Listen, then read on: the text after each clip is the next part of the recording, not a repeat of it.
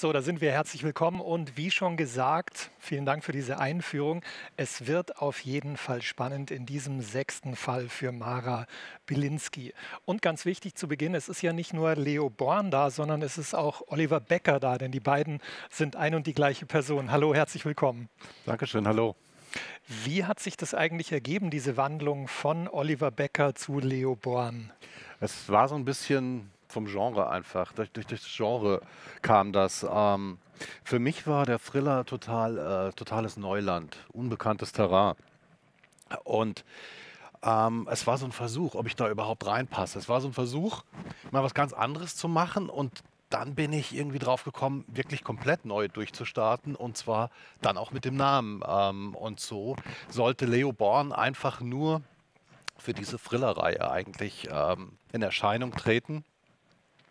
Und ich wusste damals ja noch gar nicht, ob es eine Reihe wird überhaupt und ähm, wie das so ist mit Mara. Und irgendwie habe ich es ganz gut gefunden, in eine neue Haut zu schlüpfen. Und das kam dann, äh, da kam dann der Leo Born.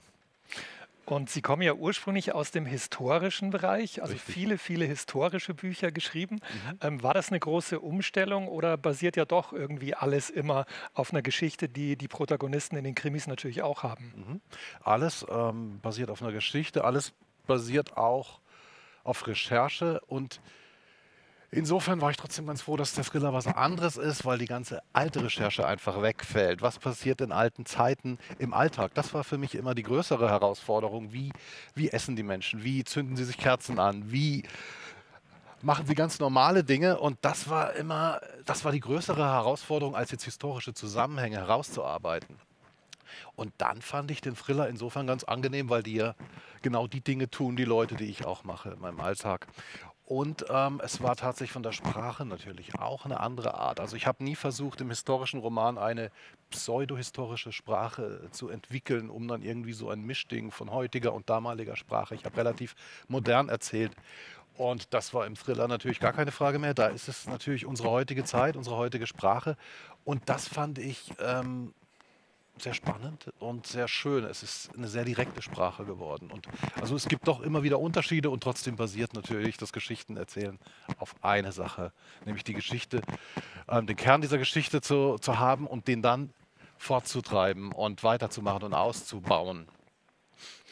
Jetzt, wenn wir schon einen Experten für beides da haben, für zeitgemäße moderne Thriller und für historische Romane, ähm, was würden Sie sagen, wie haben sich denn die Zeiten verändert? Es gibt ja immer wieder so die Vermutung, es war noch nie so brutal, noch nie so rücksichtslos die Zeiten wie heute.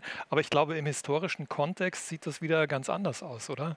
Das ist, das ist ein guter Punkt, ja, das finde ich nämlich auch. Also wenn man sich, ich habe versucht bei der Recherche für die historischen Romane, ähm, Sachen zu finden, die damals aufgeschrieben worden sind. Also das heißt, am besten ein Tagebuch aus der damaligen Zeit. Es gab natürlich viel weniger. Und wenn man das aber findet, sieht man, eine, das war eine total brutale Zeit. Also ich habe sehr viel über den Dreißigjährigen Krieg äh, geschrieben, ein unendlicher Krieg für die Menschen. Und es ist immer wieder erstaunlich, was sich Menschen einfallen lassen können, um den anderen Menschen weh zu tun. Und also das ist eine ganz schlimme Sache. Und ich habe jetzt auch in den, in den Thrillern, muss ich sagen, die, die, die schlimmen Sachen, die da drin stehen, sind leider alles wahr, weil ich könnte, also ich finde, ich könnte es mir nicht einfallen lassen. Ich habe zum Beispiel sehr viel bei der Recherche über Drogenkartelle gelesen, über die Mexikaner. Ähm, und das war immer wieder erschütternd, aber ich habe da auch tatsächlich brutale Verhörmethoden übernommen. Und also ich finde, Brutalität ist eigentlich war nie mein Ziel, Brutales zu schreiben, aber ich bin da irgendwie gelandet. Erst bei den historischen Sachen und noch stärker fast beim, beim zeitgenössischen Thriller, ja. Mhm.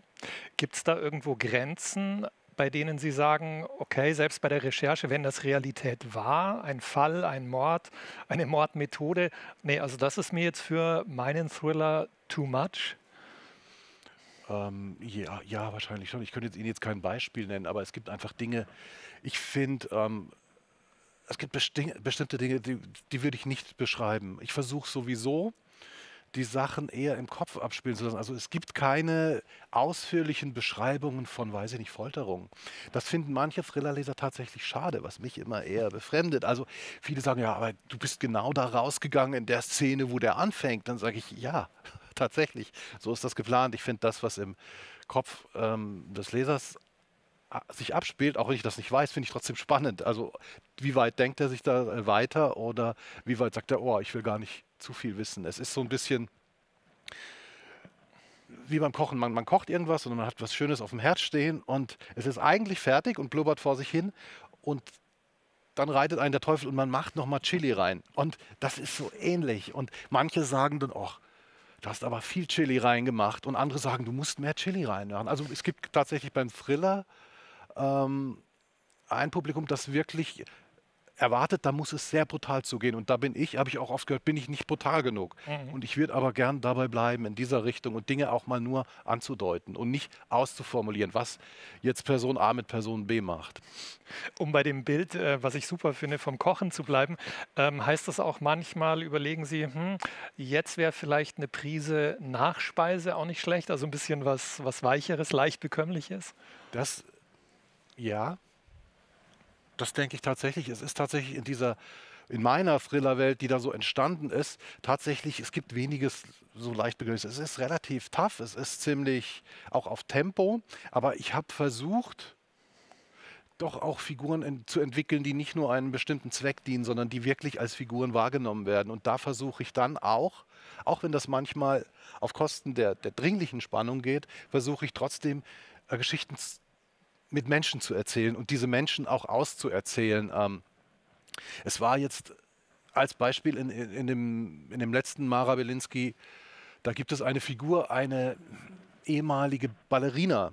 Und warum das eine Ballerina geworden ist oder eine Ex-Ballerina, weiß ich gar nicht mehr. Es war eine Bemerkung von meiner Lektorin, die früher Ballett getanzt hat. Und dann hatte ich diese Figur und ich fand es irgendwie sehr gut. Und die, diese Figur hat mich gereizt. Und dann habe ich mehr versucht, mehr mit ihr zu machen. Sie sollte eine größere Rolle bekommen. Aber ich hatte, sie sollte auch eine Balletttänzerin bleiben oder eine ehemalige. Aber ich habe keine Ahnung von Ballett und habe dann angefangen zu lesen und zu gucken. Und dann fand ich das ganz spannend. Und dann habe ich eine Autobiografie einer ehemaligen Balletttänzerin gelesen, die erzählt hat, wie sie trainiert wurde, wie sie trainiert hat. Und das war wahnsinnig spannend. Und so ist auch im Thriller, der eigentlich auf Spannung und da sind Polizisten und da sind Killer, hat es trotzdem immer wieder Nischen, in denen man Themen platzieren kann, mit denen man selbst gar nicht gerechnet hat und die einen eigenen Horizont so ein bisschen erweitern, wie die Balletttänzerin, die da plötzlich aufgetaucht ist.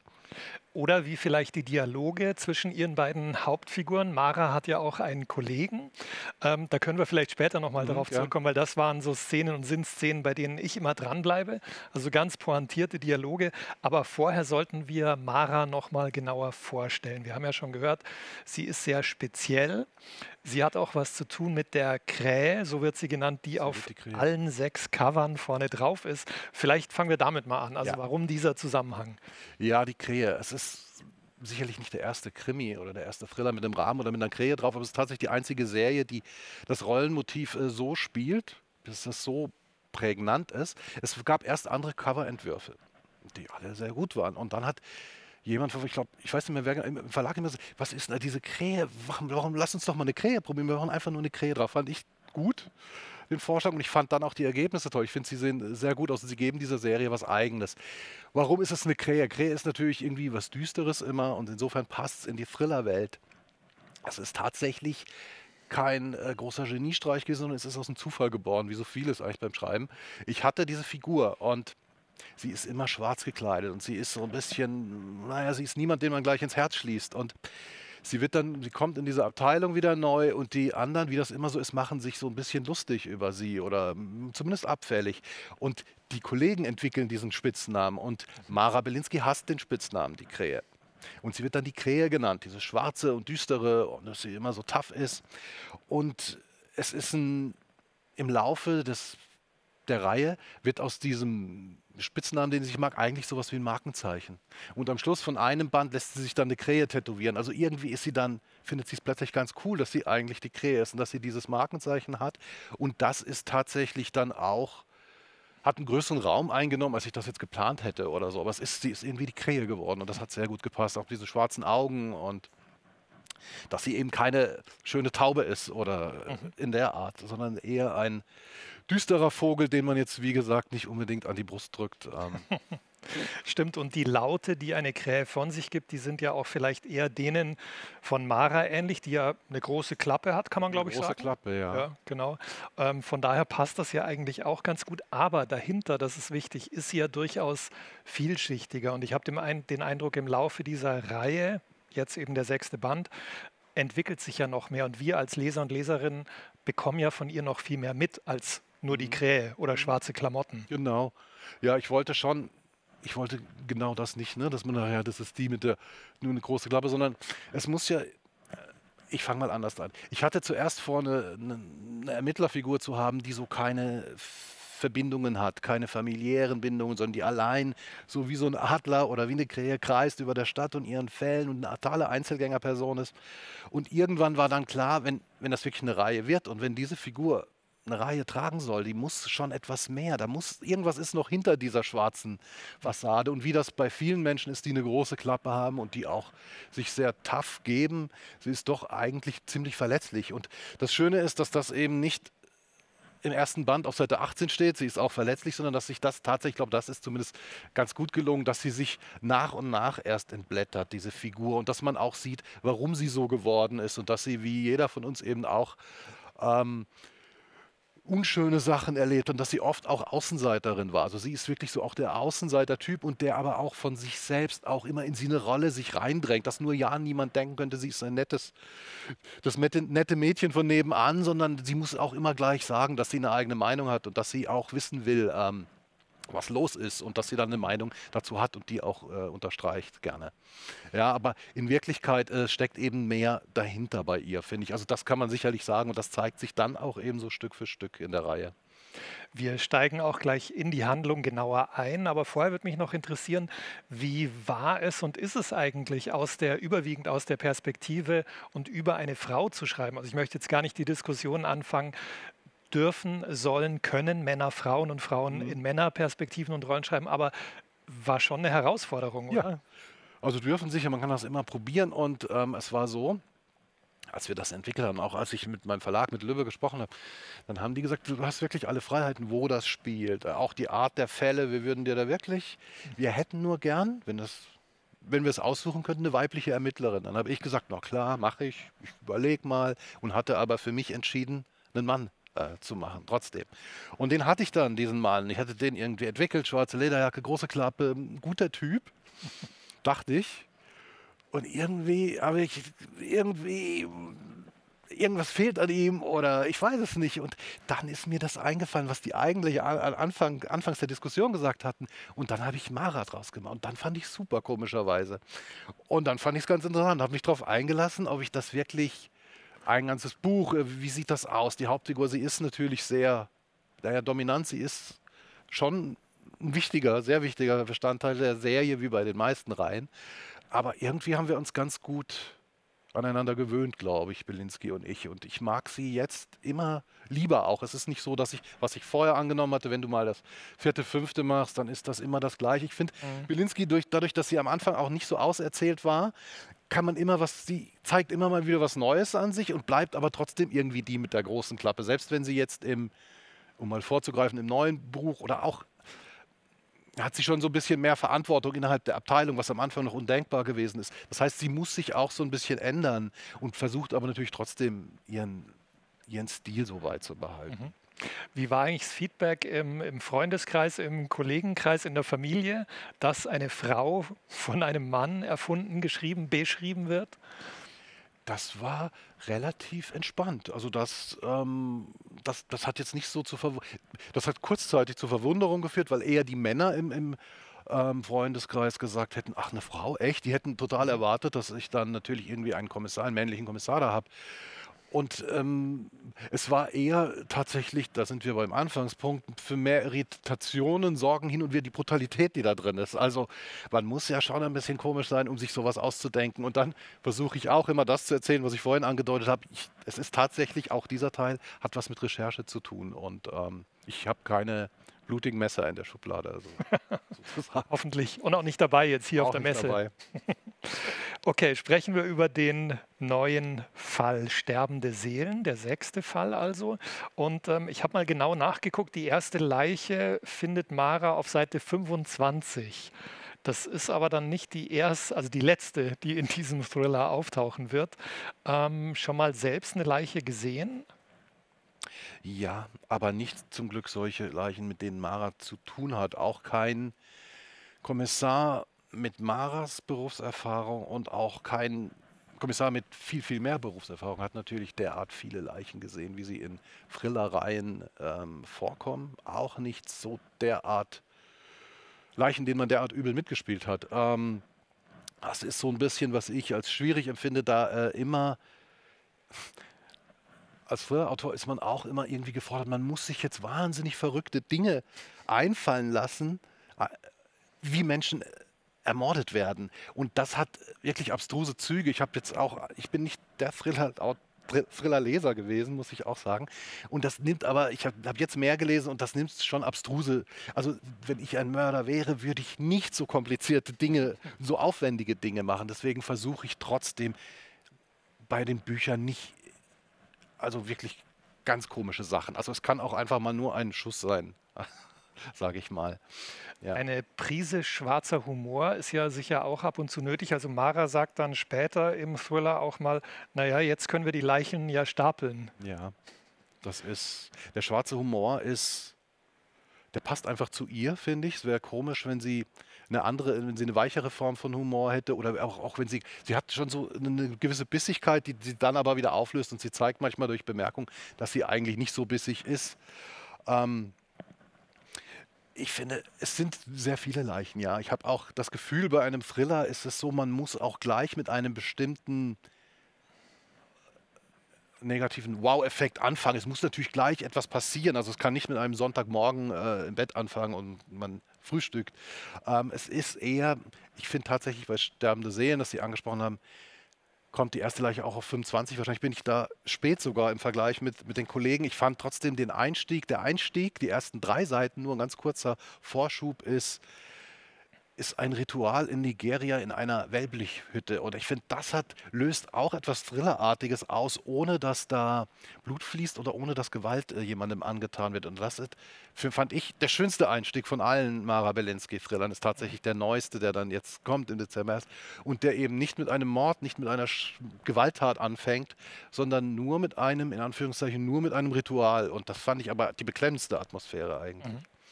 Von da, von diesem Ritual geht es aber dann schnell wieder zurück nach Frankfurt. Wir sitzen hier in Frankfurt mhm. und Frankfurt ist der Schauplatz von der ganzen Reihe. Frankfurt.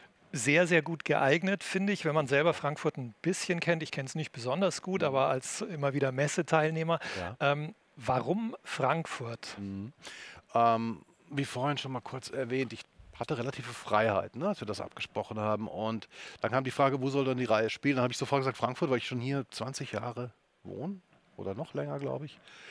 Und ich aber noch nie über Frankfurt geschrieben hatte. Und dachte ich, das ist einfach, das, du, du lebst hier, du kennst dich aus hier, du kennst die Dinge, die man eben nicht nur als, dann als Tourist oder als Besucher äh, erlebt. Und ich finde tatsächlich auch, Frankfurt ist die Krimi-Stadt für mich. Also ich finde, es gibt nur zwei oder drei Krimi-Städte und Frankfurt gehört da unbedingt dazu. Ich finde, es hat eine ganz eigene Art. Das ist, also über viele Städte sagt man, das, sind die, das ist eine Stadt der Gegensätze. Ich finde, bei Frankfurt ist, trifft das wenigstens mal wirklich absolut zu. Ich finde, man kann von der Goethestraße, wo die, die Edelboutiquen sind, kann man zehn Minuten laufen und ist in einem, in einem Finanzdistrikt, wo die Banker sind und läuft wieder zehn Minuten weiter und ist mitten in einem Rotlichtviertel, das ähm, sehr bedrückend sein kann, wenn man das nicht gewohnt ist. Und wenn man dann noch zwei Stationen mit der U-Bahn fährt, ist man in einem Wohnviertel mit Grundschulen und Spielplätzen. Und das ist relativ, das ist ein großes Einzugsgebiet, aber die Stadt an sich ist sehr kompakt. Und ich finde das gut. Da leben, wenn man äh, die Banker können aus dem Fenster gucken, können praktisch ins Rotlichtviertel reingucken. Und das finde ich sehr reizvoll. Und Frankfurt hat Mara ist eine Figur der Gegensätze und Frankfurt hat auch dieses Gegensätzliche zum Beispiel darin, dass es sehr dörfliche Stadtteile fast gibt mit Fachwerk und man kann da rumspazieren und kann Kaffee trinken gehen. Und andererseits sieht sich Frankfurt ja schon irgendwie als Weltmetropole durch diese, durch diesen, äh, die, die Bankenszene. Und das ist so ein Gegensatz, der, der sehr gut tut, solchen Krimis, finde ich. Und es ist tatsächlich auch irgendwie die Stadt des organisierten, der organisierten Kriminalität. Und Mara ist zwar in der, in der Abteilung für Gewalt, für Mord äh, und Gewalt und so weiter, aber sie hat auch immer wieder mit der organisierten Kriminalität. Und als ich das angefangen habe, diese Sachen zu schreiben, war schon das ein Punkt für mich. In Frankfurt, die muss da rein äh, preschen in diesen Teil der Stadt. Das ist das, was ausmacht, dass auch irgendwie was Thrillermäßiges ist. Was auch jemand, der wie ich in seinem privaten Umfeld nichts damit zu tun hat, das sehr reizvoll äh, findet, diese Welt irgendwie zu erkunden. Und das ist einfach Frankfurt, find, fand ich, ist ideal gewesen. Mir kommt es ja manchmal sogar wirklich vor, als ob Ihre Thriller-Reihe so ist, wie wenn man, also dass sie mehr noch den Hintergrund und den Einblick in die Unterwelt Frankfurts bietet. Das ist so, wie wenn man aus dem Hauptbahnhof geht. Also ich bin heute auch mit dem Zug gekommen mhm. und dann gleich so konfrontiert wird ja. mit, mit unglaublich vielen Eindrücken. Ja. Und ähm, dahinter stehen dann ihre Thriller, oder? Kann man so sagen? Ja. ja, das ist tatsächlich so. Es ist, wenn man da aussteigt am Hauptbahnhof und geht dann die Kaiserstraße rein, biegt vielleicht einmal ab, dann ist man schon sehr in der Welt, die ich immer noch, die für mich immer noch auch faszinierend ist, muss ich sagen, gerade weil ich aus dem Dorf im Schwarzwald komme mhm. und mir, mir gefällt das auch immer noch, hier durchzulaufen und zu gucken und ich finde das schon immer noch faszinierend und ich finde es auch schön, ähm, dass die Thriller in dieser Welt spielen können und dass ich zumindest auf diese Art da irgendwie äh, reinkomme, ohne wirklich äh, ein Teil dieser Welt zu sein. Sie haben schon organisierte Kriminalität angesprochen und ohne zu viel zu verraten, Sie können auch immer sofort Stopp sagen, nicht mehr, mehr erzählen, aber ähm, Mara kommt wirklich in eine, ja, in eine Verwicklung, in ein Netz. Zwangsprostitution spielt eine Rolle, Drogenhandel spielt eine Rolle. Das dürften ja auch so die Haupteinnahmequellen oder in der Unterwelt sein. Das sind die ähm, Bereiche, mit denen sie immer wieder in, in Berührung kommen, gerade in, in äh, mit den, in den Verbrechen, die hier in der, in der Kernstadt äh, stattfinden. Das ist das, wo sie immer wieder reinkommt, auch mit bestimmten Gruppen, die aus anderen Ländern kommen und hier ihr Revier ähm, aufziehen. Das ist ein Teil dieser Serie und deshalb habe ich versucht, immer noch auch so einen Kontrapunkt zu setzen mit anderen Dingen. Also im vierten Teil kommt zum Beispiel auch wie das Stichwort Recherche kommt, zum Beispiel Lebensmittelindustrie äh, vor, also Tricks in, beim in äh, fleischverarbeitenden Betrieben. Ich hatte ein Buch gelesen, das ein ganz schmales Buch von einem Journalisten, das schon über zehn Jahre alt war. Und ich dachte, die Dinge, die er beschreibt, haben mich total geschockt. Und ich dachte, es ist aber alt und irgendwie haben sie mich nicht losgelassen. Und ich habe dann wieder, als ich an Mara war, habe ich mich wieder daran erinnert und habe dann diese Dinge in eine Nebenhandlung einfließen lassen. Und diese Handlung ist dann auch größer geworden. Das heißt, ganz weit weg von Drogenkriminalität, von äh, Menschenhandel. Und war aber immer in der Ansicht, ähm, du bist da zu spät, das kennen, kennen die Leute alles schon und das ist alles schon bereinigt worden und verbessert worden. Und dann hatte ich dieses Buch fertig, das war der vierte Teil. Und dann kam genau ein, ein Lebensmittelskandal äh, zur Sprache, der genau die gleichen Zustände äh, angeprangert hat oder offengelegt hat, die in diesem alten Buch schon ähm, äh, beschrieben worden sind. Das ist auch immer so ein bisschen zufällig aber tatsächlich, Mara ist immer wieder in Richtung Bahnhofsviertel unterwegs und das ist auch von ihrer Figur her, sie reizt das auch. Mhm. Sie ist kein Typ, der sagt, ich habe keine Angst. Sie weiß, dass sie auch Angst hat und ich versuche das auch immer zu zeigen, aber sie hat so einen Nervenkitzel. Impuls und sie, sie drängt das im Gegensatz zu ihrem äh, Partner, den sie angesprochen hat, der wirklich nicht gerne dort unterwegs ist, ähm, drängt es sie rein. Und sie hat auch sonst nicht so viel im Leben. Das heißt, ihr ganzes, also sie hat nicht, sie ist nicht in einer Patchwork-Familie und hat Kinder oder sie hat, ähm, sie ist nicht in vier Sportvereinen tätig, sondern sie ist wirklich sehr gern Polizistin und die Lehre in ihrem sonstigen Leben, jedenfalls kommt ihr so vor, die füllt sie aus mit diesem Job, in den sie immer wieder mit aller Kraft reingeht. Sie haben gerade den Kollegen erwähnt. Das ist also auch ein Ermittler, Jan Rosen. Die beiden arbeiten immer zusammen. Der hat ja ziemlich früh schon einen fiesen Spitznamen im Kollegenkreis bekommen, also der Spatz oder Spätzchen. Und ähm, ich mag sehr, wie die beiden sich so ähm, ja, aufziehen, provozieren, so ein bisschen anstacheln. Ja. Ähm, wie ist das entstanden? Das ist so entstanden. Ich hatte diese Mara-Figur, die sehr stark war und Sie hat dann Probleme mit dem Chef, der auch ein dominierender Typ ist und auch kein leichter Typ ist. Und jetzt noch eine dritte oder eine vierte Figur, die auch sehr ähm, versucht, dominant zu sein. Das heißt, es war eigentlich zwangsläufig, dass da noch jemand auftauchen muss, der ein bisschen zurückgenommener ist oder mhm. viel zurückgenommener. Und das ist dann tatsächlich Jan Rosen geworden. Ähm, Jan Rosen ist ähm, ein bisschen aus dem Gedanken entstanden. Wir, wir gucken so viele Krimis und lesen so viele Krimis und ähm, das ist einfach gewohnt, dass Polizisten ihre Waffen nehmen, ihre Ausrüstung haben und einen Einsatz vorbereiten, diesen Einsatz machen.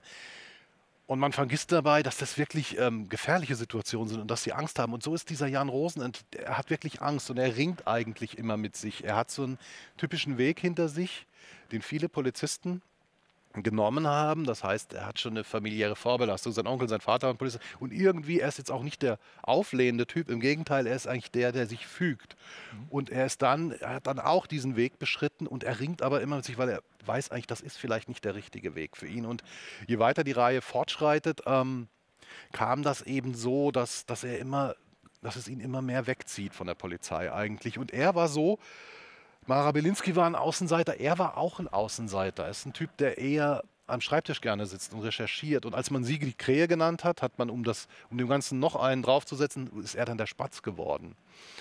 Und die beiden, wie das oft so ist, zwei Außenseiter kommen sich näher, weil sie ja sonst auch niemanden haben. Und irgendwie haben sie, Jan Rosen profitiert von Belinsky. Sie schreckt ihn eigentlich so ein bisschen aus, aus seinem Einerlei, aus seiner Langeweile, aus seiner, ich bin ganz froh, dass ich hier hinten bin in der zweiten Reihe. Und andererseits sieht sie auch, je länger die Reihe geht, wie, wie hilfreich er ist, dass er zum Beispiel bei Verhören oder Befragungen einfach nicht so mit der Tür ins Haus fällt wie sie oder mit dem Kopf durch die Wand will, sondern dass er sehr behutsam ist. So wie er auch gerne hätte, dass man mit ihm umgeht, geht er mit anderen um, nämlich eher verständnisvoll und behutsam als sie. Und sie merkt das, wie gut er ist und wie dass er dann auf diese Art eben auch manchmal mehr Informationen erhält als Sie. Mhm.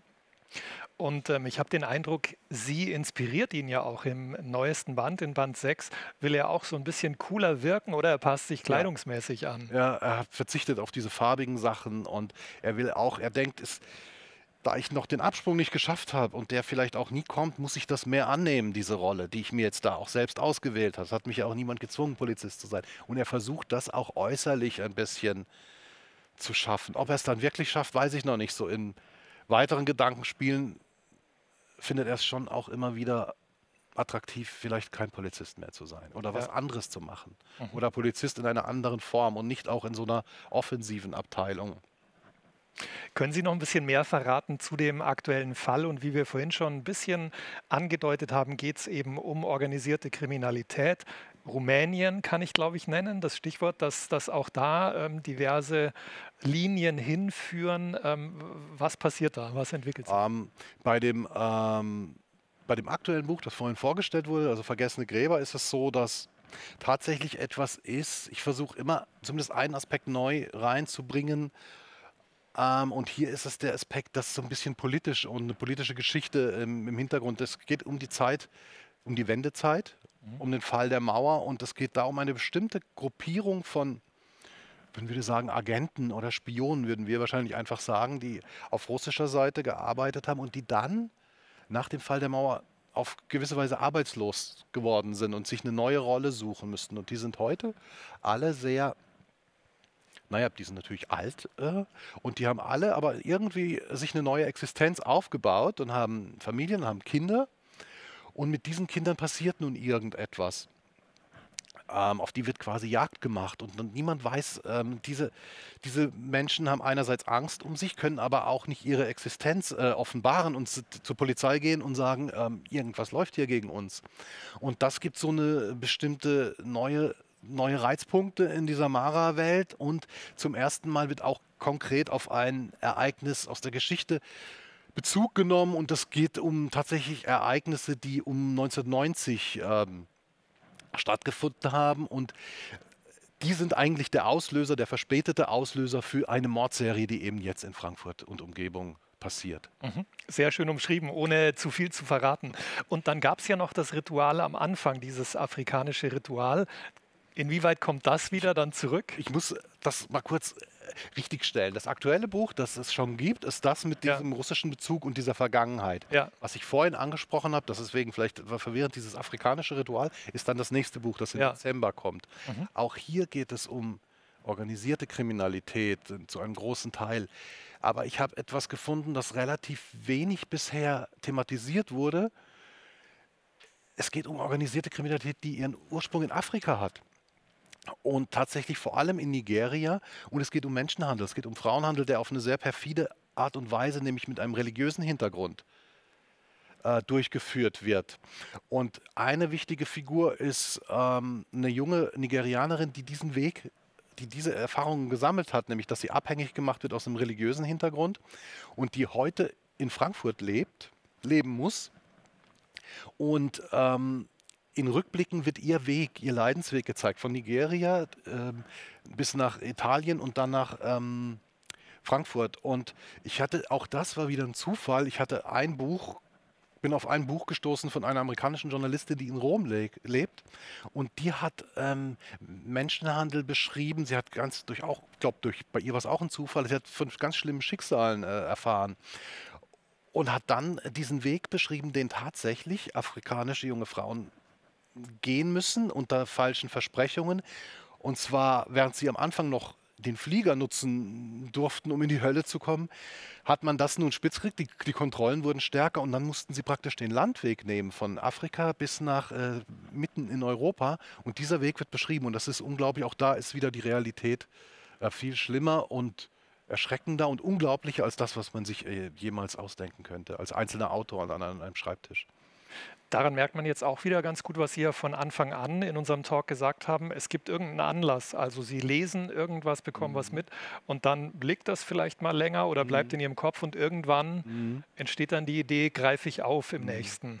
So ist es tatsächlich sehr oft. Es ist so, ich finde die, die Figuren, also ich mag die Figurenentwicklung auch. Also ich sie haben irgendwie alle was zu tun und sie bringen auch Leben in diesen Roman und sie treiben die Handlung voran. Aber ich glaube, die Substanz kommt tatsächlich auch durch die Recherche von Dingen, die, die stattfinden draußen. Ob das illegaler Organhandel ist und oder ob das äh, Zustände in Gefängnissen sind, ob das Flüchtlingsrouten sind, all, Dinge, all die Dinge, mit denen wir uns beschäftigen, die ich eben auch lese als einfach ganz normaler Leser, die ich in Zeitschriften lese oder im Netz oder wie diese Fleischgeschichte mit diesen fleischverarbeitenden Betrieben. Das war eigentlich auch nur ein Zufall und ich habe da jetzt auch gar kein Interesse. Aber es ist mir tatsächlich im Gedächtnis geblieben. Und so war das auch mit Nigeria. Ich habe nur dieses eine Buch gelesen und war dann total geschockt und dann lag das. Und dann habe ich wieder an Mara weitergearbeitet und ich habe immer an diese Frauen gedacht, die das und habe dann erst nochmal äh, weiter recherchiert und habe in den ganz normalen Medien, also auch wie Spiegel und Stern, ist das tatsächlich ähm, thematisiert worden, habe danach gelesen, habe nochmal ein Buch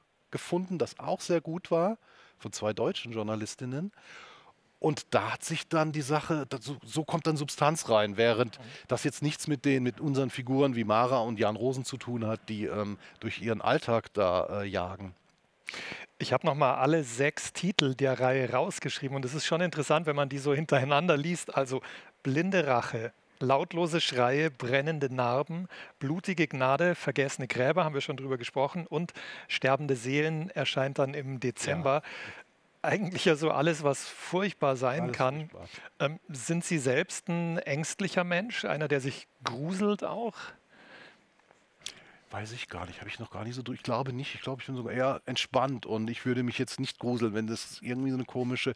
Ich glaube, ich habe auch, ich würde auch durch das äh, Bahnhofsviertel laufen, ohne mir zu denken, oh, was könnte mir hier alles passieren. Ich, ich glaube nicht. Die Titel, muss ich sagen, das hat einfach eine Geschichte. Es ist, ähm, im Grunde habe ich das Cover und den Titel, um zu sagen, zu welchem Genre das gehört. Und deswegen ich hatte vor kurzem ein Interview im Radio und dann hat die Radiomoderatorin gesagt, ah, die Titel findet man ja schnell. Und die Wahrheit ist genau umgekehrt. Es ist ganz mühsam, diese Titel, weil es gibt eine unheimlich große Menge an Kriminalliteratur und mhm. man muss aber gleich klar machen, dass es ein Krimi oder ein Thriller ist. Und da ist tatsächlich das Terrain ist gar nicht so groß. Das heißt, es gibt immer blutig, es gibt mörderisch, es gibt tödlich. Ja, ja. Das liest man ganz oft und man muss irgendwie, es ist tatsächlich schwer, diese Titel zu finden und deswegen versuche, zum Beispiel Lautlose Schreie finde ich ein schöner Titel, weil er einen Gegensatz hat. Es, und so versuche ich da, ich finde auch Vergessene Gräber hat keinen Gegensatz. Es kann in jedem Friedhof Gräber geben, die nicht mehr gepflegt und vergessen und trotzdem schwingt sowas mit. Es ist, dieses Vergessen kommt aus der Vergangenheit, dass da eben diese Gräber eine Geschichte haben, die jetzt wieder aufgerollt wird. Aber tatsächlich sind die schon sehr martialisch. Die blutige Gnade ist irgendwie. Ja. Wow. Ja. Blicken wir zum Schluss noch mal ein bisschen in die Zukunft. Wir haben vorhin ja auch schon bei dem Kollegen von Mara, dem Ermittler ähm, Jan Rosen, mitbekommen, der hat sich verändert. Wird das irgendwann passieren in Band 7 oder 8, dass Mara auch mal plötzlich in Blümchenkleidern daherkommt? Nicht, oder? Ich würde, glaube ich, lieber sterben. Ich, ist einfach unvorstellbar. Ich habe es mir auch gedacht, was machen wir jetzt mit dieser Figur? Ist sie immer ist sie immer mit dieser schwarzen Lederjacke? Ja, ich glaube, sie wird immer diese Lederjacke tragen, aber sie wird sich in ihrem Berufsfeld einfach verändern. Das heißt, sie wird immer eine Frankfurterin sein. Sie ist auch nach Frankfurt zurückgekehrt. Sie hat gemerkt, ich ähm, gehöre irgendwie zu dieser Stadt und sie gehört zu mir.